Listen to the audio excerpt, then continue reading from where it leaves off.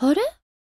ここって、あ、えっと、私に何を求めますか？人の子よ。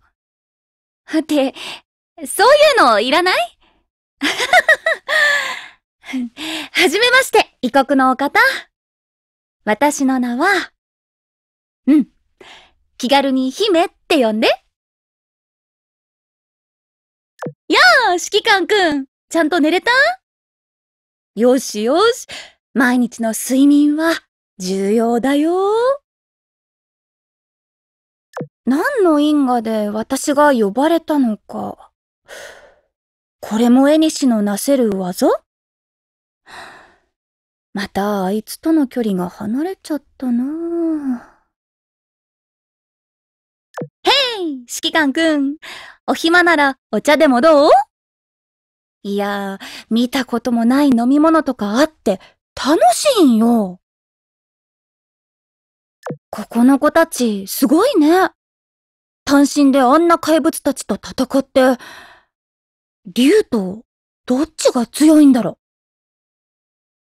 はあ、周りの目がないと、なんかだらけちゃう。指揮官くん、今のは見なかったことに。おっと気軽に触れてもらっちゃ困りますってこちとら、一応高貴な身の上なもので。私に手を触れると、この絵の奴らが何をするか。うーん。あんまり気軽なスキンシップは、この絵たちが騒ぎ出しそう。指揮官くん。仕事が残ってるのに出歩くのは、良くないぞ。仕事完了だね。お疲れ様。忘れずに対価はもらっておきなよ。指揮官くん、君宛ての文が届いているようだが、確認しときな。おかえり疲れたでしょう。埃を落としてゆっくりしてきなよ。一言助言を。人の気持ちを推し量るということを覚えた方がいいですよ。見たこともない食べ物、飲み物、心を熱くする物語。すごく素敵な場所だね、ここ。お使いの方々がお戻りです。出迎えは上の者の責務ですよ。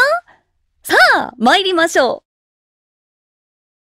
新たなる力を授かる感覚というものは、このような感じなのですね。皆の者誇りを持って敵を殲滅せよ全軍突撃おほほ勝った戦いはあんまり得意な方じゃないけど、やれちゃうもんだね。はい、たたたたた。ここは一旦引きます。全軍反転駆け足始め。この身に秘めし力。今こそ、解き放たん。こんな時、あの方々だったら、